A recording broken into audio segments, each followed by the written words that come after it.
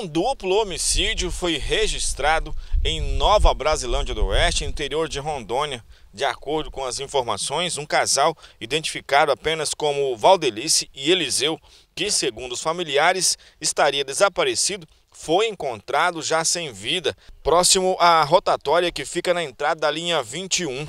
Informações obtidas junto à Polícia Militar dão conta que uma pessoa que mora nas proximidades da localidade teria ouvido seis disparos de arma de fogo à noite, mas, por ser muito escuro no local, o mesmo não foi ver o que estava acontecendo. Conta ainda que pela manhã de sábado, dia 16 de julho, ao sair de sua propriedade, avistou dois corpos caídos ao lado da estrada.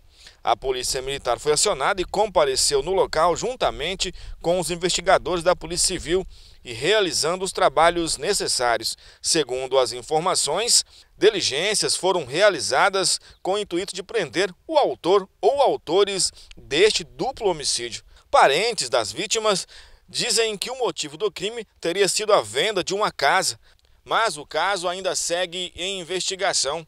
Com as imagens de Alex Feliciano, Mário Genzen, para o jornalismo da SIC TV.